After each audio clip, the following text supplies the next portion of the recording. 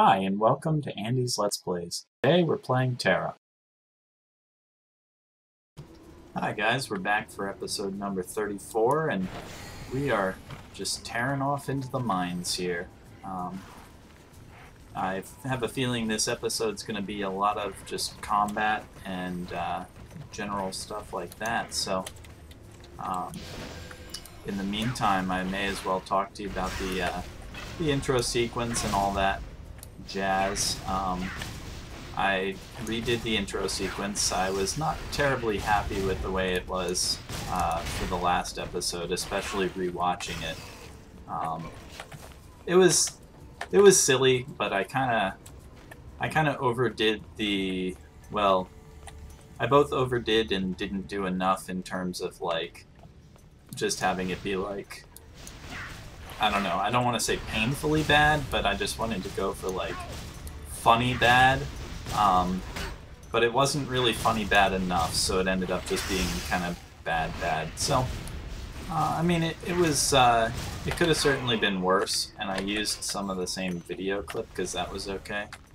Um, but as you just, uh, as you guys just saw, I redid the intro, and uh, I'm quite a bit more happy with it, and I've got it in a format where I can modify it as I want to. So currently I've got uh, the Old Republic as sort of the fourth Let's Play game, just because it's one that I've done in the past, but that is not uh, not really one that I plan on doing again in the future. So that'll probably get switched out eventually when I start Let's Playing another game. Um, so we'll see.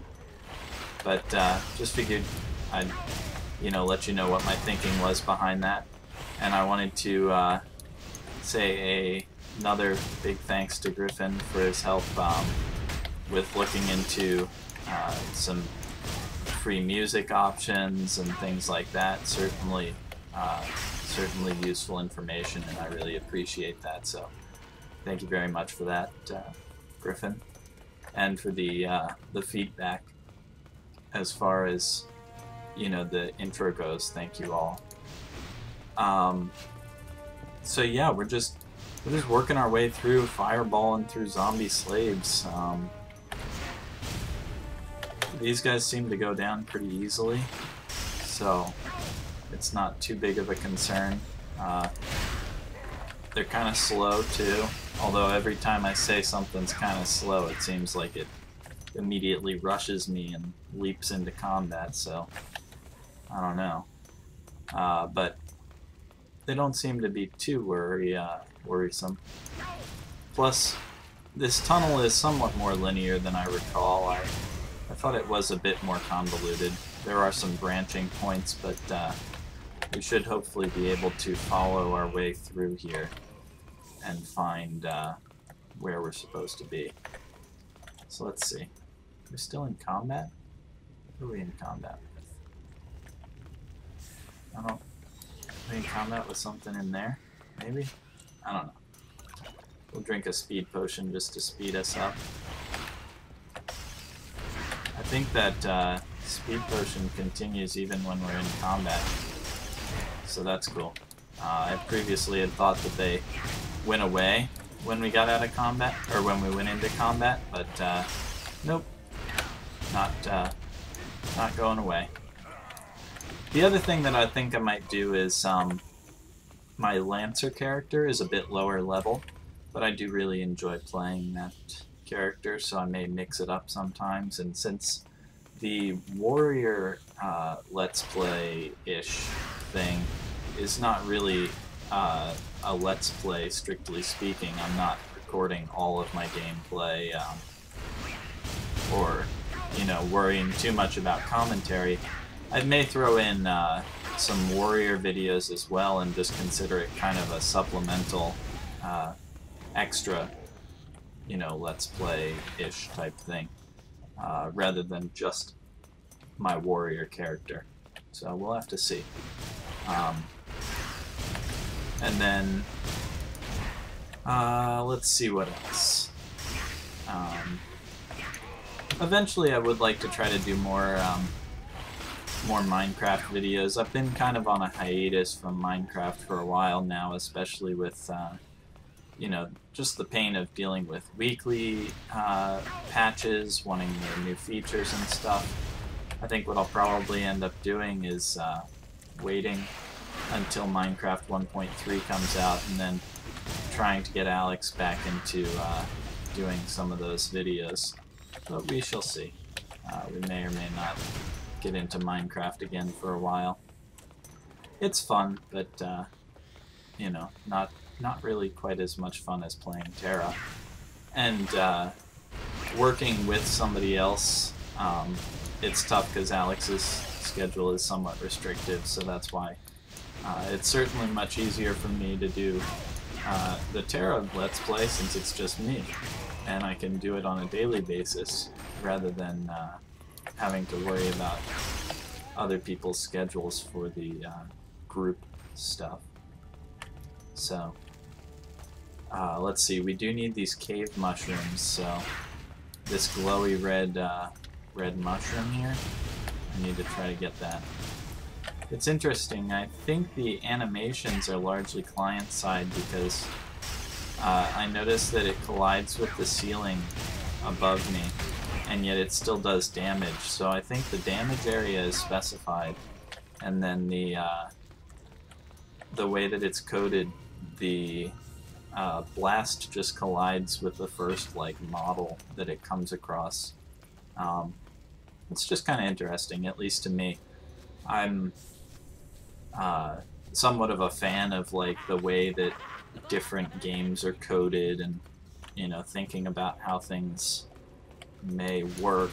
Um, just kind of hypothesizing on it and looking into the way that various objects respond uh, partially because it often leads to interesting glitches and things and, you know, different uh, funny parts like that, especially in games like World of Warcraft, um, in terms of, like, model uh, glitching and, and that kind of thing. Um, but also just because I, I do a bit of programming, um, and, you know, it's kind of interesting and whatnot, at least to me, to think about how people may have gone about solving a problem, like, you know, determining where where a uh, fire blast hits. And sometimes you see some very elegant things that people have done to make a game just work really well. Um, and it's really impressive. And a lot of what's in Tera is quite impressive. I mean, you know, it's in general seems to be quite robustly coded. I haven't come across too many things where there have been really any measure of glitchiness. So let's see, we have to uh, find Ruinol, who should be right through here. Okay, got hung up on a rock. That's cool. See, even though that hit the uh, even though that hit the bar above me, it still did its damage.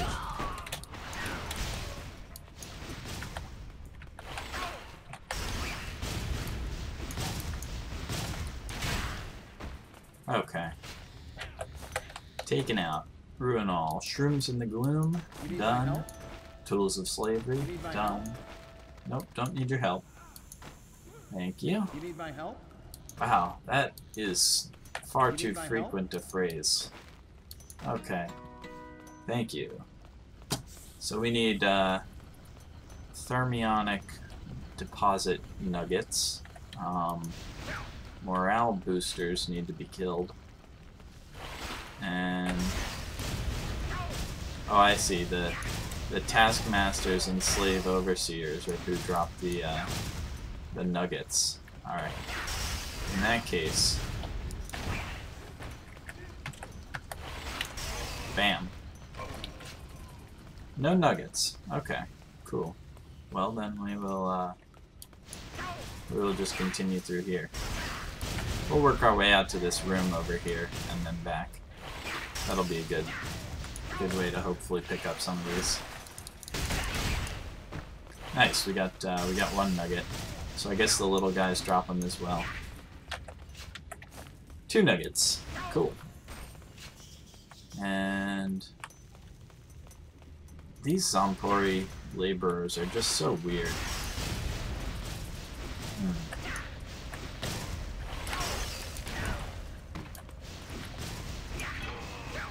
Okay. Ooh. Let's see here. Hang on. Can we... We can vote for people. Cool. So, for this region, we will vote for... Um... Hmm. I don't really know. Rain? Sure.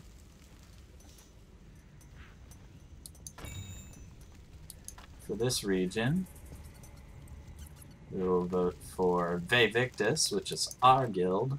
Yes. And in this region, we will vote for... Ooh. I see there are more... There are more scrollies or something. Oh, no, no, there's not. Sorry. I thought there were more guilds to vote for. Um, I don't really know. The most popular one so far is Vorican, I guess. So... Hmm. Sure. We'll, we'll vote for them. I would, uh... You can, like, read into their bios, but, uh... As interesting as it is to some, I just...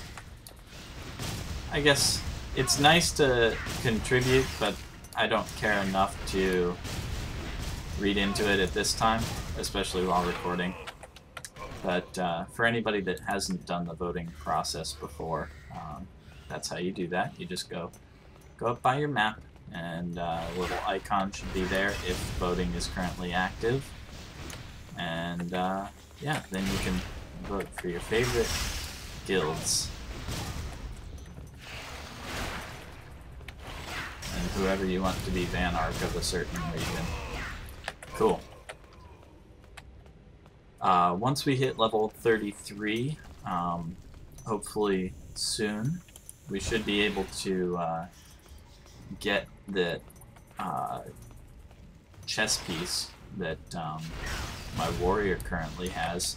Since I did find a uh, sorcerer chess piece, I'm going to uh, send that over may as well, you know, use um, every advantage I can, uh, considering that I wouldn't really have too much of an issue purchasing, excuse me, purchasing something off of the uh, auction house or whatever, uh, trade hub, I forget what it's called, but uh, broker, trade broker maybe is, I forget, but uh, Considering we can buy things from there, I don't see a major problem with using something in another character gathered. As much as, um... I guess there are some people that like to keep their characters in a game, and an MMO, pretty separate, so anything that they do on one character, they try not to, you know, use that to help their other characters progress, but, uh, my warrior is not like a huge amount ahead. It's not like he's a or she rather, is a level 60 that uh, I can just pull tons of money off of and buy really expensive things I otherwise couldn't afford. And I'm only like a couple levels ahead, so I don't see any problem with it. Um, oh my. Oh no. Stuck between a, a rock and a slave overseer. A rock and a fat guy. Alrighty. Taken down. We only need uh, four more thermionic deposit nuggets. So we will begin heading over, hopefully getting enough of those uh, nuggets by the time we get to uh, our next area here. Okay, so we only need two more. Yeah, here's another guy. We need to start heading up north uh, in the caves.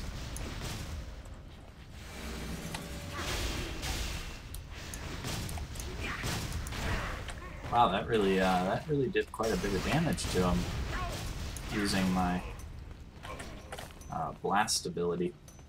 I have not been using uh, that charge up as much as I like, as much as I would like. Let's see here.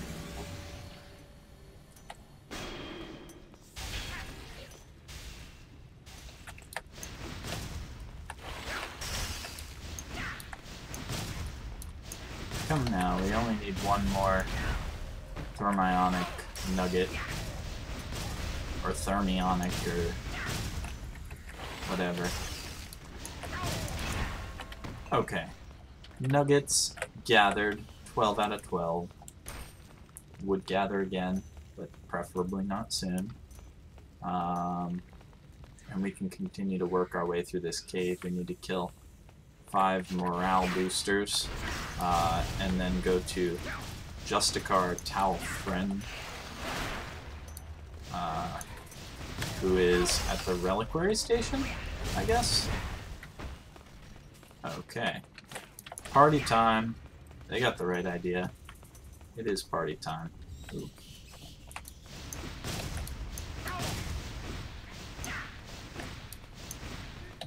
Die, zombies.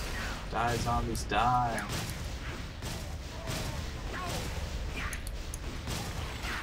So after this, I'm very much looking forward to our next zone, which is going to be Pirate Zone.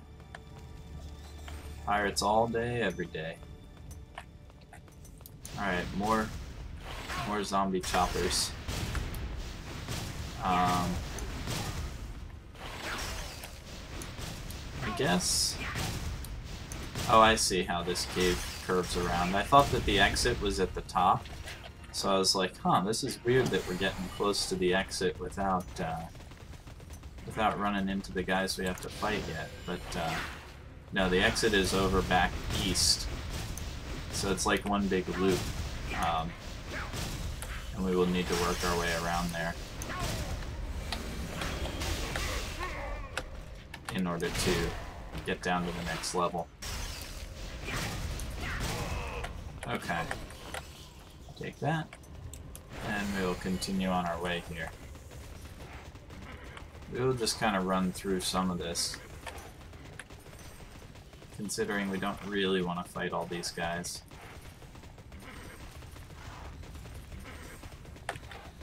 Cruel Taskmasters? No, we want morale boosters. Here they are.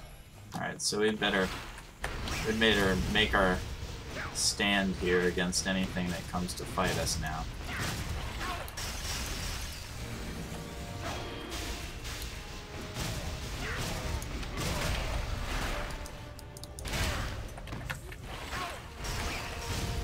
Okay.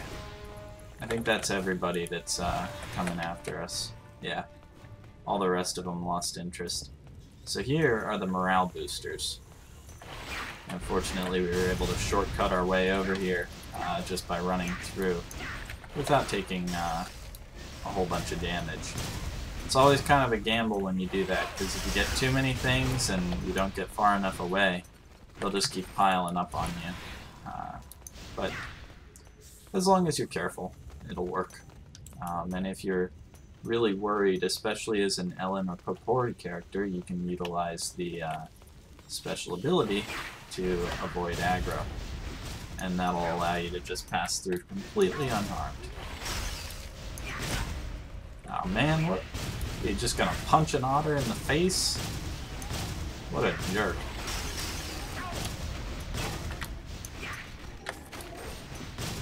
It's like hitting an old lady. Or a girl. It's just not done. Otters are peaceful, fun-loving creatures. They hold hands. If any of you haven't seen the video of otters holding hands, you should, uh... You're on YouTube, you should go look that up. Otters holding hands. It's absolutely adorable. Yeah. So, more... Oh, I like these little signs. I saw one back earlier. But they do seem to be pointing us through, uh, telling us where we can go, which is nice. I'm definitely doing a much better job of this uh, this time around. The first time when I came through here on my warrior, I kind of got to the first area, hadn't quite finished the quests, so I got the second set of quests from that guy. Or the... I got the quest from that guy that we just visited a little bit ago. And, uh, and ended up continuing on and having to double back, and it was just a whole, whole big mess. It kind of locked me up in here for uh, quite a while, but we are moving rather quickly through here, which is good. Uh, this is only the first level though, so it does does continue down, and it gets a little more. Oh, hello. Yeah, we'll just we'll just blast through here. Hello, skeletal vassals. I'm sure you'll all you're all great and very very foreboding. Um, I just don't really want to fight you right now, so okay. Discovered the pit. Uh, old weapon. Accept. Cave in. Accept. Uh, searching for survivors. Something to remember them by. Looking for me? in. Good to And see you. in. Greetings, Accept. soldier. Just Accept. checking in. Accept. My goodness, this is a lot of quests. Uh, Keep it together. okay, will do. I will keep it together. Um, let's see here. Uh, while we heal up a little bit uh, in our stamina, we can go ahead and burn a few of these tokens. So we'll burn a Sanguine Charm and an Onslaught Charm. Uh, partially just to get rid of some of our Onslaught Charms since we have quite a few. But uh, anyway, we will we'll continue on here, uh, seeing as how this now leads us further into this pit. Wow, these are these are some imposing guys. Stay away from me with your sword. You know, it's kind of funny that, uh, you know, with the scale that this game is on, if that guy hit me with his sword, with me in cloth armor and whatnot, by all rights, I mean, that that would be the end of days for my little otter fella. But, uh, but nope, I mean, he'll hit me and, I mean, it'll hurt, but, but it's just like, oh, you know, 5% of my life? Sure, that's, that seems appropriate for getting, getting hit with, like, the force of a thousand demons or whatever, you know, whatever he's wielding. Um, oh wow. We are like walking right into the crab nest here.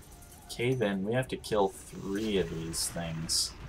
So I guess, I guess we can try to take one on. We'll see what we can do. Oh wow. This is not looking overly, uh, overly promising. I mean, I'm looking at like, what, 5% of the damage to him? Currently? He hasn't gone in rage mode yet either. So that means he's a little easier to avoid. I guess we can try to fight him. See if we can get at least one of them down. Although, this kind of comes back to the is it worth it as far as group quests are concerned. Um, oh wow. Oh my god. Okay. Yeah. I think I think even though we, you know, again, we're kind of faced with this, we probably could take him down if we if we just went for it and, and put a fair amount of time into it, but it just takes so long to deal damage to these guys that I'm not sure it's worth it. Come on, reset, fella. I don't wanna I don't wanna fight you. Okay. We'll go after these guys instead. They're a lot uh, a lot less scary. A lot more manageable. Thank you. Another skull of our foes. I may be a, a brave spelunking otter, but uh, I think killing my way through a nest of enemy giant crabs is about where I draw the line at the moment. Mainly due to time restrictions. Okay. Because as, as fascinating as those foes are, I think an entire episode devoted to me just killing like three crabs would be a little out of the question. Come here, Osagon Prefect. He's just sauntering around all my attacks.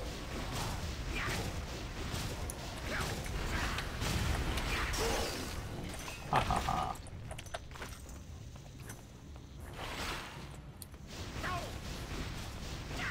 Taken down with a vengeance.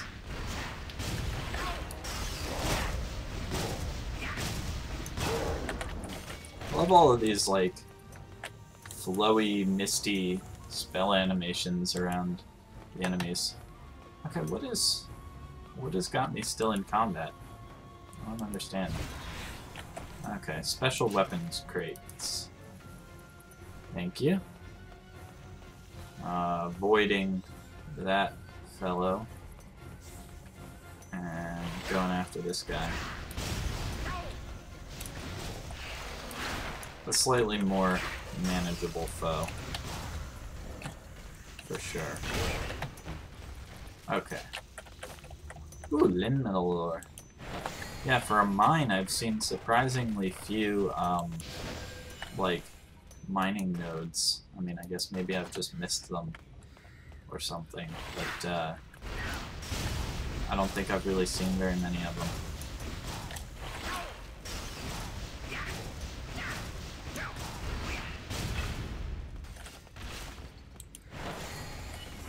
Okay, weapons crates. Oh, cool, I can just attack them.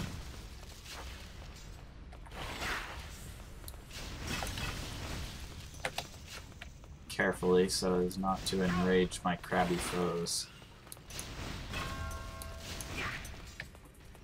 Hahaha, crabby, like, like crabs. They're kind of spidery, though. I guess I only say crabby because they're, like, orange-red, like a like a kind of cooked crab. Or like a spider lobster, which I guess is basically the definition of a crab.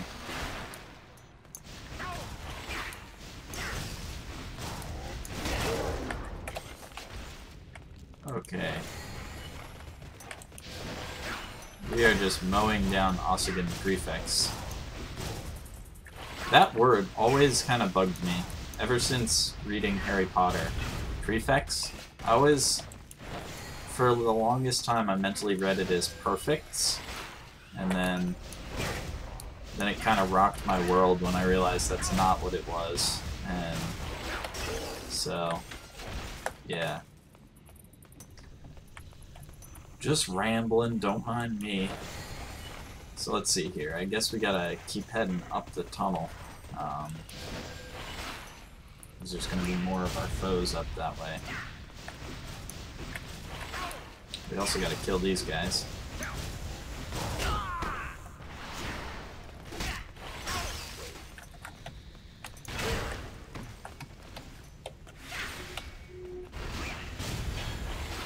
Bam. Oh, that's cool. They've got like a crane up there. That's really neat. Alright, we can almost, uh, I think we can get this done. We can get two more Osagon prefects.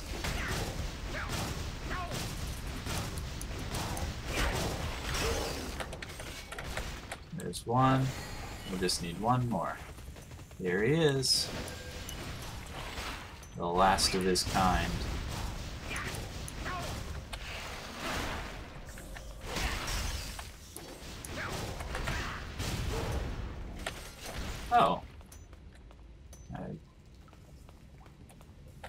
I didn't get credit for that? Or...